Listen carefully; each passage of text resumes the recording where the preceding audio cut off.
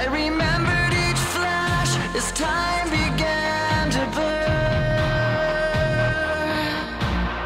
Like a startling sign that fate had finally found me. And your voice was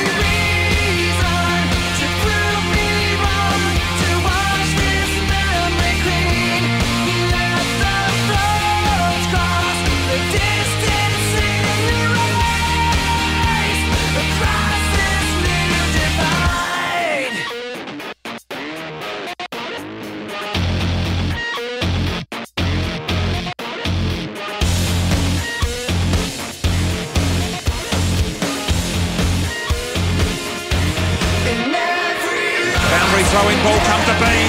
Right foot kick around the body. Good looking ball to goal. Beams from 50 with a kick around the corner for goodness sake. Collingwood get the first goal of the last quarter.